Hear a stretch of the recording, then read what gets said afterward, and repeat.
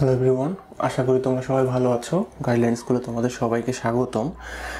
আজকে বুঝতে পারছ, আজকে আমাদের আলোচনার বিষয় হচ্ছে, ভরই হচ্ছে জড়তার ভ্রামক, যেটি এসএসসি লেভেলের জন্য খুবই একটি গুরুত্বপূর্ণ প্রশ্ন।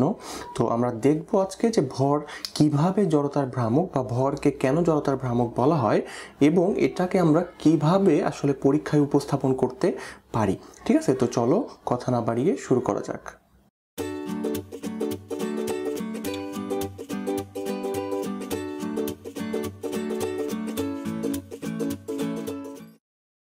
ওকে তো তোমরা প্রথমে দেখতেই পাচ্ছ, আমি কিছু চিত্র আঁকার চেষ্টা করেছি তোমাদেরকে বোঝানোর সুবিধার্থে।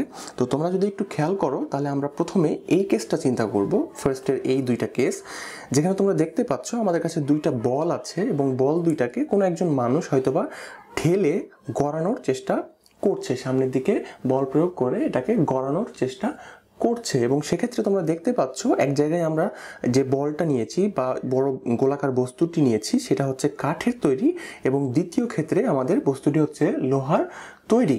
তো এই অবস্থায় আমাদের যে প্রথম কেস এইখানে যদি আমাদের কাঠের তৈরি বস্তুটিকে প্রথম ব্যক্তি গড়িয়ে দিতে চায়, সেক্ষেত্রে সে একটা, মনে করো, ধরো, বল প্রয়োগ করছে। তাহলে হয়তো ধরে নিলাম যে একটা বল প্রয়োগের ফলে সে কোনো মতে কাঠের বলটিকে গড়িয়ে দিতে সক্ষম হলো। একই সাইজের আমরা যদি লোহার বলটির কথা এখন চিন্তা করি, তাহলে এই লোহার বলটিকে গড়িয়ে দেওয়ার জন্য এই ব্যক্তিটির পূর্বের তুলনায় কিন্তু অনেক বেশি বল প্রয়োগ করা লাগবে, তোমরা জানো যে বা তোমরা বুঝতেই পারছ যে আমরা কাঠের বল একটি গড়িয়ে দিতে যে পরিমাণ বল প্রয়োগ করতে হবে আমাদের, একই সাইজের আমরা যদি একটি লোহার বলকে গড়িয়ে দিতে চাই, অবশ্যই আমাদেরকে অধিক বল প্রয়োগ করতে হবে। তো আবার আমরা যদি এখন সেকেন্ড কেসটা দেখি, তাহলে এখানে কি হচ্ছে দেখো, এখানেও বল একটি হচ্ছে কাঠের, একটি হচ্ছে লোহার তৈরি। এখানে কি ঘটনা ঘটেছে? এখানে কাঠের তৈরি বলটি অলরেডি কি ছিল? গতিশীল অবস্থায় ছিল। একইভাবে লোহার তৈরি বলটিও গতিশীল অবস্থায় ছিল। এখানে এই ব্যক্তিটি যেটি করার চেষ্টা করছে, সেটি হচ্ছে বলটিকে থামানোর চেষ্টা করছে। তাহলে এই ব্যক্তিটির এই কাঠের বলটিকে থামানোর জন্য কি করতে হবে? কাঠের বলের গতির বিপরীত দিকে একটি বল প্রয়োগ করতে হবে, তাহলে সে এই বলটিকে থামাতে পারবে। একইভাবে লোহার বলটিকেও যদি এই ব্যক্তিটি থামাতে চায়, এই ব্যক্তিটিকেও লোহার বলের বিপরীত দিকে বল প্রয়োগ করতে হবে। কিন্তু সেক্ষেত্রে এর প্রযুক্ত বল হবে এই ব্যক্তির থেকে অনেক গুণ বেশি। স্বাভাবিকভাবে আমরা বুঝতেই পারছি লোহার তৈরি বল যেহেতু গড়ে আসতেছে আমাদের দিকে, একই বেগ নিয়ে, একই আকারের, সেহেতু তাকে থামানোর জন্য কি হবে? আমাদের বল বেশি প্রয়োগ করতে হবে। এটা কিন্তু আমরা বাস্তবে যদি চিন্তা করি তাহলে বুঝতে পারছি। তো আসলে এই যে প্রশ্ন, ভরই হচ্ছে জড়তার ভ্রামক, এটা কিন্তু আসলে আমরা সচরাচর দেখেই আসছি। শুধুমাত্র এটাকে পরীক্ষায় কীভাবে উপস্থাপন করতে হবে এই জিনিসটা আমরা একটু দেখার চেষ্টা করছি। দেখো, এক্ষেত্রে কাঠের বলের ক্ষেত্রে একে গতিশীল করার জন্য কম লাগল বল প্রয়োগ এবং একে থামানোর জন্য কম বল প্রয়োগ করতে হলো। একইভাবে লোহার বলের ক্ষেত্রে গতিশীল করতেও আমাদের বেশি বল প্রয়োগ করতে হচ্ছে। আবার গতিশীল লোহার বলটিকে থামানোর জন্য কি? বেশি বল প্রয়োগ করতে হচ্ছে। তো এর কারণটা কি? বল দুইটির সাইজ তো সেম তাই না? এবং এক্ষেত্রে বল দুইটি আমি বলেছি যে ধরো একই গতি থেকে তাকে স্থির অবস্থায় নিয়ে আসতে চাচ্ছি। তাহলে এক্ষেত্রে কাঠ এবং লোহার মধ্যে যে এক মাত্র জিনিসের পার্থক্য সেই পার্থক্যটা হচ্ছে এদের ভরে।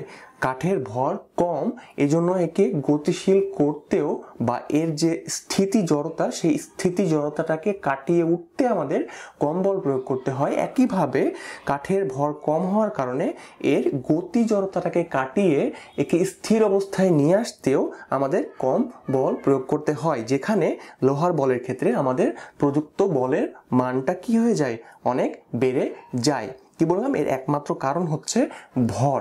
যেহেতু লোহার ভর বেশি তাই এর গতি জড়তা এবং স্থিতি জড়তা উভয় জড়তাকে কাট- কাটিয়ে উঠতে আমাদেরকে কি করতে হয়? এতে জড়তার এগেনস্টে বেশি পরিমাণে বল প্রয়োগ করতে হয়।